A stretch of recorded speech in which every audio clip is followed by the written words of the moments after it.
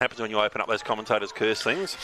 He's bringing it back. It's not going to stay in play. Oh, yes, it does. Great work in there from McHenry to just crumb it out of nowhere.